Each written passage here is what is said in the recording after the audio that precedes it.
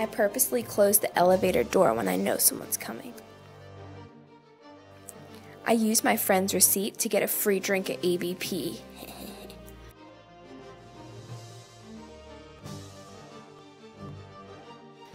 I always practice the five second rule.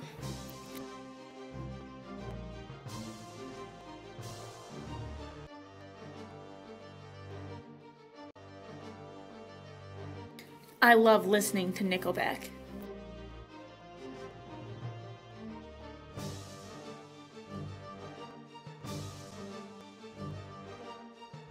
I take over 300 Snapchats a day.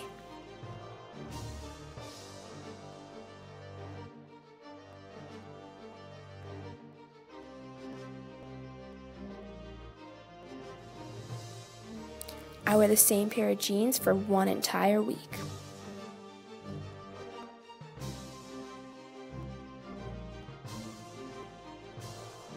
I don't recycle.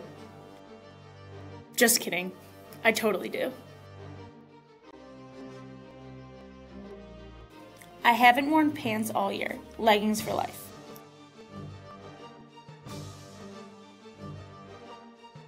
I steal other people's laundry detergent when I forget mine in my room.